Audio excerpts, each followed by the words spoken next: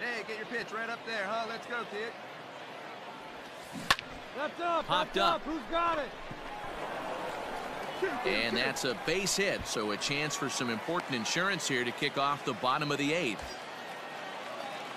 So digging in now, Hoy Park. The He's working on a the one second for baseman. three thus far. Boy. Park. The 2-2. Runners on the move for second. Hard ground ball to third. Oh, a diving effort as it's off his glove. And they're going to get an out out of this as they're able to put the tag on him there.